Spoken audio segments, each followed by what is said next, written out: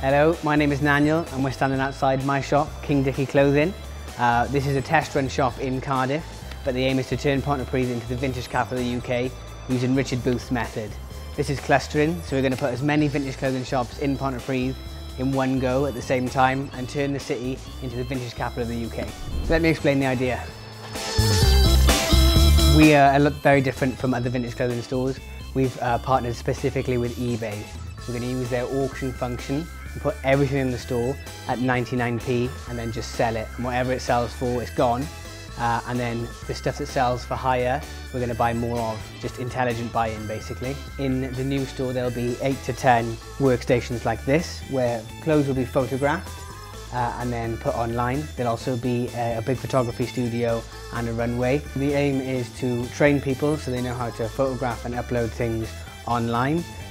I'm from Pontypridd and ever since I was born it's been viewed as a down on its luck sort of town with nothing going for it. This isn't true and it is actually an untapped gold mine of potential.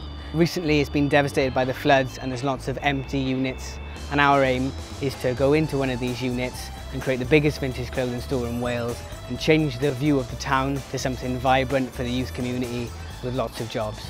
The way we run, run our business has already been tested by somebody named Richard Booth in Hay-on-Wye, hence the name of our business, King Dicky Clothing, as a homage to Richard Booth himself.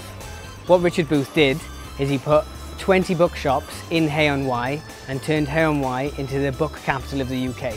We aim to do the same thing with Pontypridd and take all the empty shops in Pontypridd and fill them with vintage clothing. This way, we change the face of this town to turn it from something old and boring into something amazing and vibrant for the youth culture of Wales.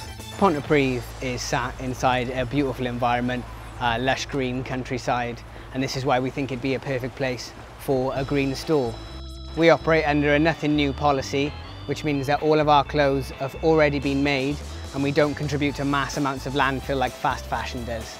Uh, all of our products that we don't sell as well get uh, remade and recut by our seamstresses and upsold into better products and everything else that's dead stock we actually give to homeless people so we aim to not contribute to landfill at all.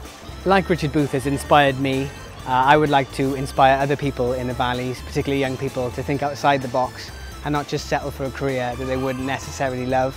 Uh, find something that they would really love and stick at it and keep going with it uh, and know that if they work really hard they can achieve whatever they like. So within the next five to 10 years, we aim to take the spotlight off Cardiff and turn Pontypridd into the vintage capital of the world, making it an attraction for fashion lovers everywhere, in Wales and outside of Wales and the whole world.